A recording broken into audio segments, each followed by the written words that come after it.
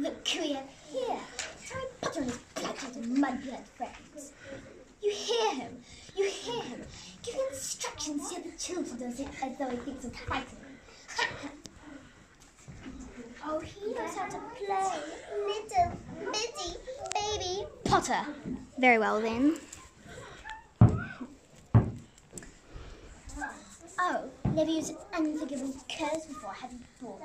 We need to mean Potter, need to really want to cause pain, to enjoy it, righteous anger, to live along. Shut your mouth! You dare speak his name with your unworthy lips. You dare besmirch it with your half-understand. Dare, Hermione. You're lying, filthy mudblood, and I know it. You've been inside my vault at Gringotts, haven't you? Tell the truth! Tell the truth! Or I swear I shall run you through with this knife. Answer me, Crucio! You cannot win against me, Potter. I was an am the Dark Lord's most loyal servant. I learned the Dark Arts from him, and I know spells of such power that you, like little boy, can never hope to compete. Draco, move these scums outside, and if you ever got the guts to finish them, leave them in the courtyard for me. Don't go low. No one will be able to hear. Louder and slower. But anyway, great for now. Louder and slower. Leave them in for me. Let them watch while I torture them little girl. I'm looking forward to it. No, it's, yes, l- louder.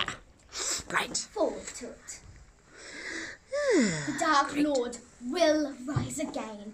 Do you hear me? He will rise again he'll come for me.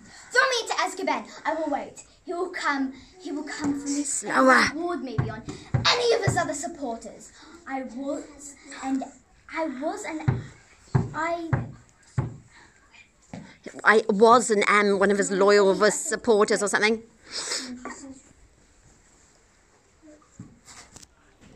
I alone waited for him. I alone was faithful.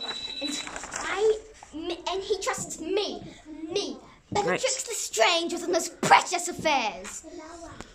I alone was faith was faithful. I alone am faithful. Nay, Nate.